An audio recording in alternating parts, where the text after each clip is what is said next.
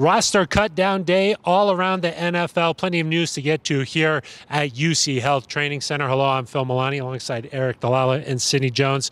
Aric, not too many big surprises for the Broncos here, but only keeping five wide receivers might be one of them.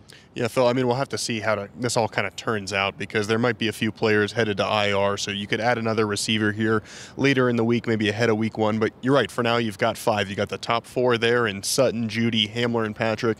Diontae Spencer hangs on as a return guy who can also contribute on offense.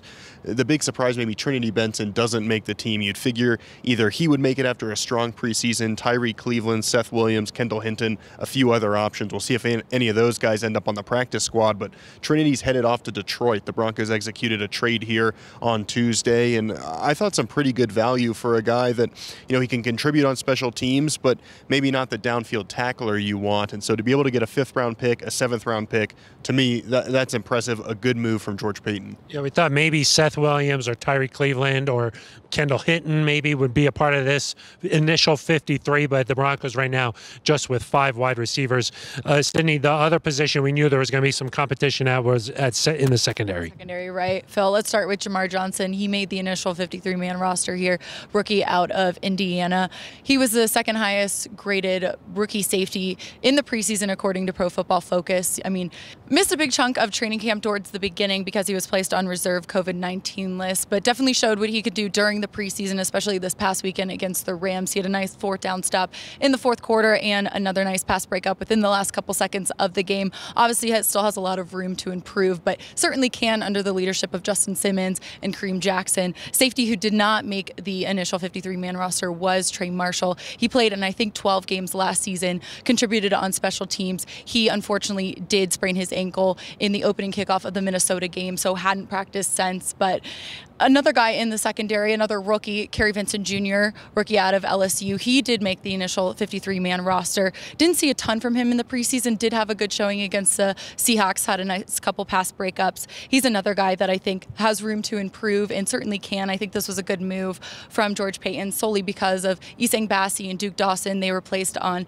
the physically unable to perform list. And Michael Ojemudia, he's still suffering that hamstring injury. Yeah, Michael Ojemudia uh, probably head into IR here but yeah, you mentioned two draft picks uh, from George Paton here. A lot of potential making this initial 53. Aric, in general, the draft class this year, eight out of 10 making this uh, this roster. Yeah, and I'm, I'm a little surprised by that, to be honest, because we heard George Paton say during the draft that this wasn't a strong day three crop of players. And so for eight of 10 guys to make the roster, only Marquiss Spencer on the defensive line and then Seth Williams at wide receiver, those were the only two guys not to make it. And you needed some guys to step up. Jonathan Cooper in the seventh round. He showed he earned a spot. Yeah, I'm impressed uh, that these guys were able to make the team. I thought with as deep as the team was, there wasn't going to be room for eight of them. You know, I thought maybe six, seven. And so the fact that George Paton was able to find eight guys who can be contributors, uh, kudos to him and a strong 2021 draft class, which was George Paton's first, of course. Yeah, it wasn't just a draft class, too. Andre Mintze, a college free agent, making this roster 17 out of 18 years now that the Broncos have had uh, a college free agent make this team.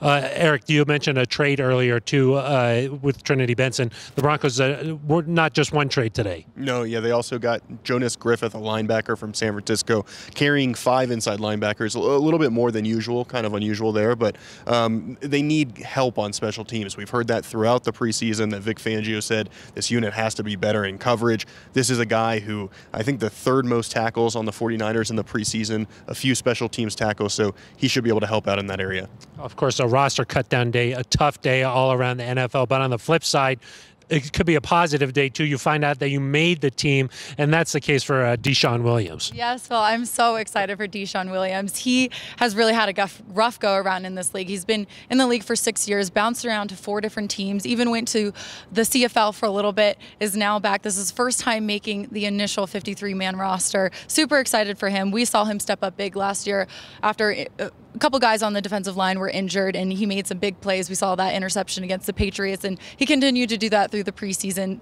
The Seahawks game rings a bell to me. Just his another interception, fumble recovery. Super excited for him. Excited to see what he can do. I think he is going to be an impact player here, not just a rotational piece. And a good guy too. Uh, really enjoyed getting to know DeShawn Williams. The other guy who might be heading to IR, Mike Boone, got injured when uh, the Broncos were practicing out in Minnesota.